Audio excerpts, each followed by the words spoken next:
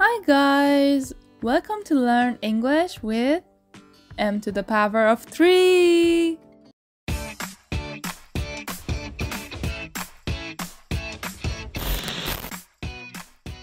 In today's lesson, we will learn and practice English with Mulan. While preparing for their wedding, General Shang and Mulan are sent on a mission to escort three princesses to China before their wedding. Mushu tries to break up the young couple because he's afraid of losing his position. However, several challenges along the way put their loyalties to the test. But before we get started, make sure you hit that subscribe button and bell down below because every week there's a new video here on the channel. So what are you waiting for? Hit the subscribe button so you don't miss a single new video. Let's get started. Number 1. To suit someone. Let's watch. The new uniform suits you, General. Oh, To suit someone. When something suits someone, it means it fits their preferences, needs, or circumstances well. It's like saying it's a good match for them or it's just right for them. Let's watch some examples. So, how's everything going? Solitude suits me. That's funny. I found this on a dead man. Not the pattern suited me. The requirements do not suit me. It will suit me. Okay, now the longer distance is going to suit you too. Whatever you say, St. Lucifer. Oh, Saint Lucifer. Suits me, don't you think? Now let's watch that scene again. The new uniform suits you, General. oh, Number 2. Live up to something. Let's watch. the uniform. Yes. now I just have to live up to it. Live up to something. It means to meet the standards, expectations, or ideals associated with a particular thing or situation. Let's watch some examples. Neteyam and Lo'ak try to live up to you. It is very hard on them. Nobody could live up to Tony. No, I know what it's like. To not live up to expectations. I can never live up to that. I do not want to live up to that, but it does not make it any easier to know you are constantly disappointing people just by walking into a room. Now let's watch that scene again. The uniform. Yes. now I just have to live up to it. Number 3. Pink slip. Let's watch. Hey, this look like a for real pink slip. You know, like a you're fired pink slip. Pink slip. It typically is a document given to an employee to inform them that they are being dismissed from their job. The term pink slip is often used colloquially to refer to being fired or laid off from work. Let's watch some examples. You should fire him. Okay, that that right there. That attitude is exactly why I won't be in your video because GMB doesn't care. They hand out pink slips like they're hors d'oeuvres. When this is all over, she's gonna get her diploma, you're gonna get a pink slip and an orange jumpsuit. That's a pink slip. Yours has a pink slip. If he just sign over his pink slip to Sybil, we wouldn't be here. Now let's watch that scene again. Hey, this look like a for real pink slip. You know, like a you're fired pink slip. Number 4. Easy to talk to. Let's watch. But it is our duty and our honor, although it can be a burden. Oh, I've said too much. You are very easy to talk to, Yao. Easy to talk to. It means someone who's friendly and makes conversations comfortable. Let's watch some examples. I mean, Howard was so easy to talk to. She's easy to talk to, I guess. You're very easy to talk to. Because I'm very easy to talk to. He was very easy to talk to. Now let's watch that scene again. But it is our duty and our honor, although it can be a burden. Oh, I've said too much. You are very easy to talk to, Yao. Number 5. On one's own. Let's watch. Hey, what about old Shanghai? I think I better handle this one on my own. On one's own. It means doing something by yourself without help from others. Let's watch some examples. Let her come out on her own. Is this the plan? Daphne, thank goodness you're here. She's requested time. We do not have time. Stand back. No. My own apartment. Never lived on my own. I went from my parents to college, back to my parents to Joel. On your own? Not anymore. I don't like crowds. I plan on kicking Mum into heaven and slamming the gates on her backside. But she'll be trapped there, on her own. Tauriel, you cannot hunt 30 orcs on your own. Now let's watch that scene again.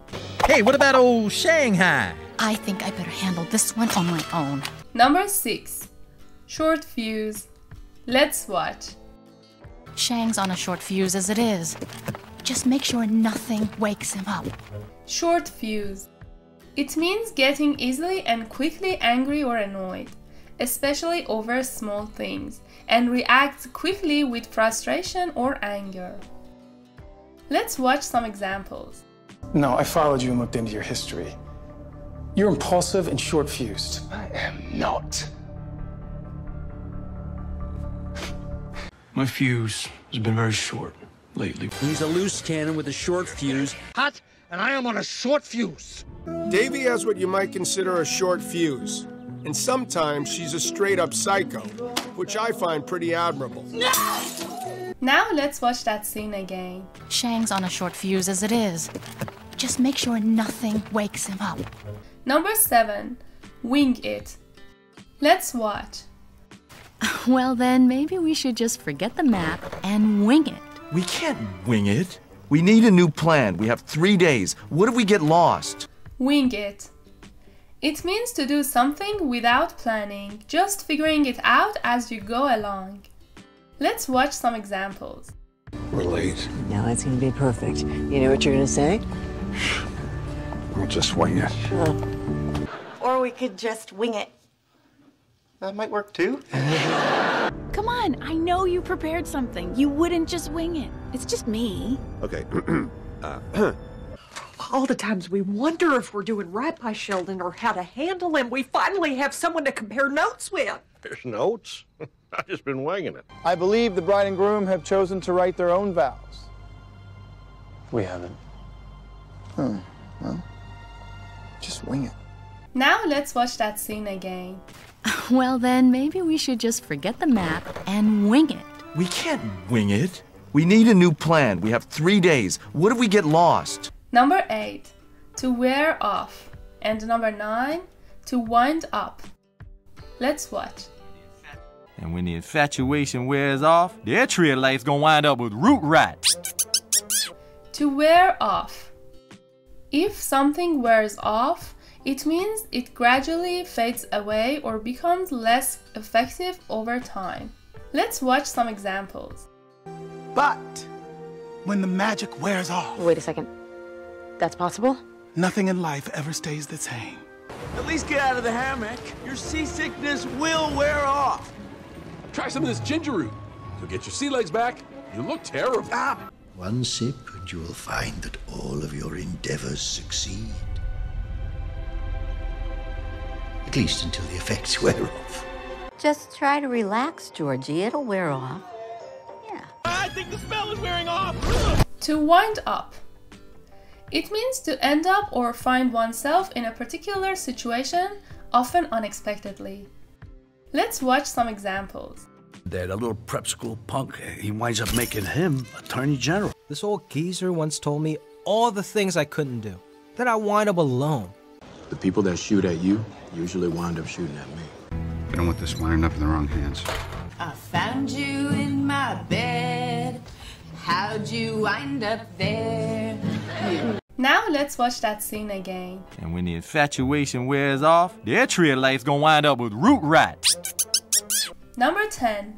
Nip something in the butt. Let's watch. The girl don't even realize how miserable she is.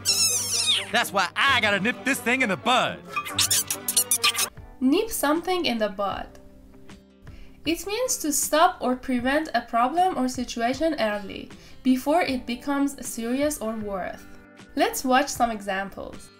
I was thinking I'd just nip it in the bud before it gets worse. And you, and you have to do it right now, nip it in the bud before it gets too complicated and you lose her entirely. We go down there first and we nip it in the bud. We get. I gotta nip this in the bud. In fact, gotta nip this in the bud. I mean, clearly there's something between us. Maybe my head was saying nip it in the bud because my heart was saying something else. Now let's watch that scene again. The girl don't even realize how miserable she is. That's why I gotta nip this thing in the bud. Alright, now it's time to practice and take the quiz.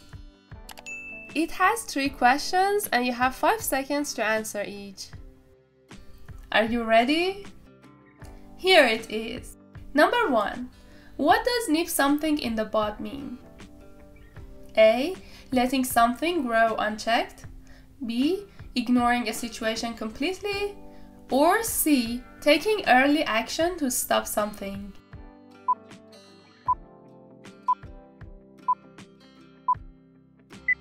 Well done! The correct option is C. So to nip something in the bud means to taking early action to stop something. Number 2. What is the meaning of suits you in this context? What time? What time that suits you? A. Fits your schedule. B. Fits your style. Or C. Matches your outfit.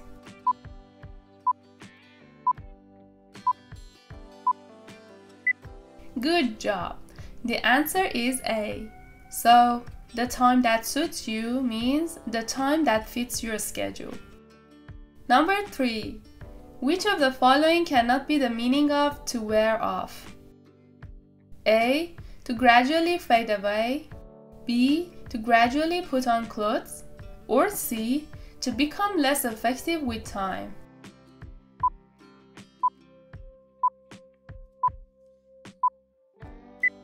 That's right.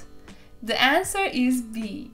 So to wear off means to gradually fade away or to become less effective with time. Great job!